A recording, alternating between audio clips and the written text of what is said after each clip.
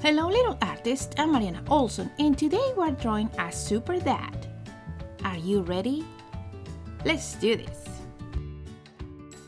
Okay, we're gonna need paper, something to color with I'm using markers, and something to draw with. I will use a black marker that you can change for a pencil.